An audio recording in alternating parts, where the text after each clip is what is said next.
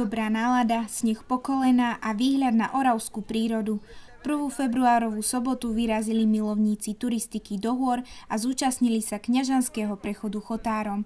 Prišlo viac ako 200 účastníkov aj keď nám počasie dá ako nepraje, ale myslím si, že účastníci tohto prechodu sa veľmi tešia na tento kňažanský prechod, pretože je tu vždycky dobrá atmosféra, všetko pre nich pripravené s láskou a dá sa povedať, že tá účasť aj tento rok tomu nasvedčuje, že myslím si, že ľudia nie, že by sa nebáli toho počasia, ale chcú tu prísť a snažia sa ku tomu pristúpiť zodpovedne.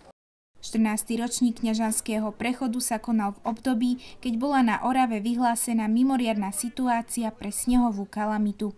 Počasie ich ale neodradilo, no trasu museli pre účastníkov upraviť.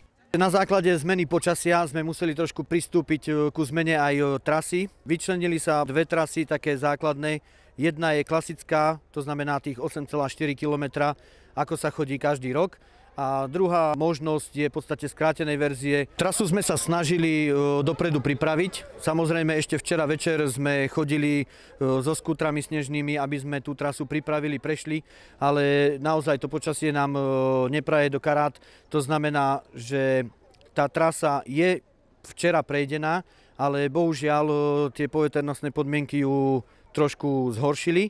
Čiže je preznačená, každý účastník môže každých 500 metrov vidieť značku, kadiaľ má ísť. No a tá skrátená verzia není značená, pretože sme sa rozhodli až dneska ráno, ale v podstate je to trasa normálnou cestnou komunikáciou smerom do Jolšavy. To znamená, že tú trasu každý pozná a je bezpečná. Zúčastnení sa mohli občerstviť teplým čajom, klobásou a domácou kapusnicou. Kňažanský prechod chotárom zorganizoval dobrovoľný hasičský zbor kňažia.